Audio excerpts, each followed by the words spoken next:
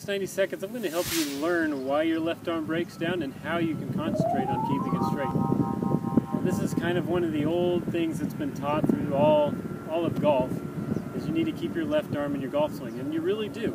One of the reasons is because we have one axis point, and that's supposed to be our spine that we turn around. So if we start bending our left arm, we've created two axis points, and it becomes hard to find the bottom of the golf ball each time.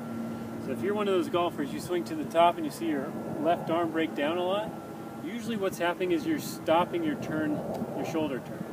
So you turn just a little bit, you try to get the club all the way up there so you really break down those arms and almost turns into a curl. You don't have to take the club all the way to the top, you can hit it more consistently and farther if you really concentrate on having a good shoulder turn, keeping that left arm straight,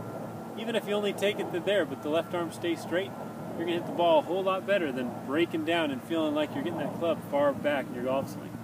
So if you find yourself breaking down that left arm a lot, really focus on getting a nice big wide shoulder turn and that's really going to help you keep your left arm straight. It's also going to help keep your right arm straight so you can create some more width and power in your golf swing.